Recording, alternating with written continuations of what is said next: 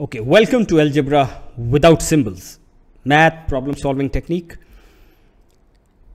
हम कर रहे थे बिफोर आफ्टर मॉडलिंग का तरीका और उसमें अब हम करेंगे कि बिफोर आफ्टर मॉडलिंग कैसे करते हैं जिसमें परसेंटेजेस गेन और परसेंटेज लॉस का ज़िक्र आए।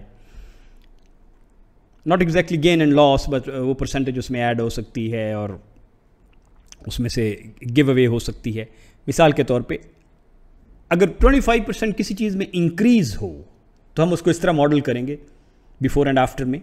कि it if it was hundred the next will be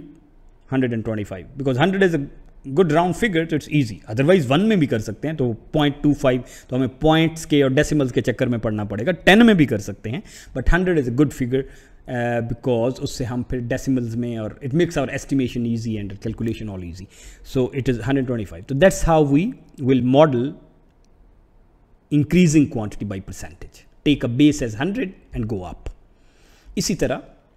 तो इसको हम काट भी सकते हैं obviously and eventually we can show it like this ताकि क्योंकि हमने छोटी टाइल पे आना होता है and value of that bar और tile actually gives us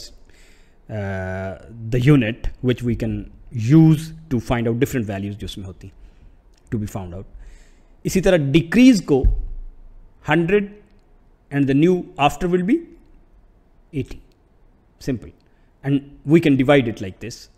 ताकि हम छोटी टाइल्स की वैल्यू मालूम कर सके ताकि डिफरेंस का पता चलना हो या किसी एक की वैल्यू मालूम करनी हो तो we can find out so that is the method in percentage going up and down now let's use it School expenditure on food for June decreased 5% for May, from May to 3800. Find the school expenditure for the food of May. तो पहले 100 था बाद में 95 हो गया. और difference ये है विच इज़ 5 परसेंट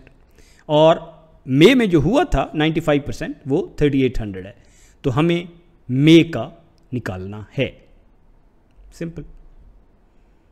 अब आप मेरे ख्याल में I don't need to explain it because you already know कि this thirty eight hundred has ninety five smaller units inside तो एक यूनिट का पता चल गया, फिर बिफोर का निकालना है या आफ्टर का निकालना है या चेंज निकालना है that becomes easy So that was it, and we'll move on to the next segment.